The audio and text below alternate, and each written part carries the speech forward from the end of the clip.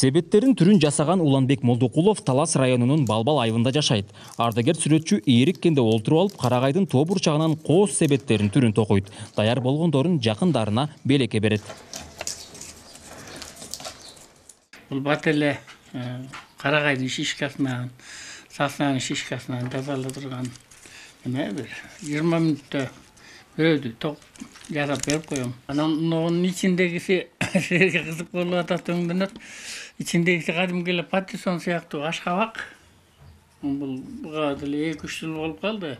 Жеп жеңил салмак жок жемиштери өңдөнүп алмага окшоп эметип калат ушундай. Ийринбеген элеттик ата жыгач менен көп иштейт. Текчедеги сувенирлерин баарын суу жээгиндеги агындылардан жасаган. Өнөрчү малдын сөөгүндө таштандыга ыргытпайт. Андан кооз гүлдөрдү балыктарды жасап айылдаштарын кызыктырган. Бул балык уйдун мүйүзүнөн жасалган ушул уйдун мүйүзүн ушул деңиздин жээги сыяктуу болуп кандайдыр секирип кайрылып бараткан камыштын имерилип ушундай бир композициянын формасын түзүп жасалган мал соебуз кой соебуз ошонун шыйрактары койдун шыйрагы кызыктуу композицияны өтүп берет аракетчил ата тарыхы терең таштарды чогултууга кызыгат. Азыр үйүндө жаргылчак моло жана башка таштардын түрү бар. Тапкан жеринен ташып келип жыйнай берет. Мурду о көзү кана көзү кана Ucuna. көзү ана оозу кана оозу. Ee, ozu ушул экен. Көзү бар экен э?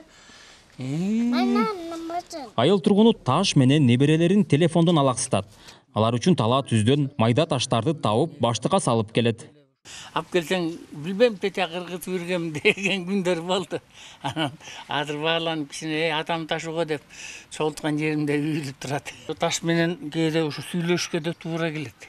Канча жыл жердин алдында жаттың канча жыл э, ушул адамзатын бактың канча жыл кандай мээнет кетти сага канча такылымды басып өттүң ушундай суроолор.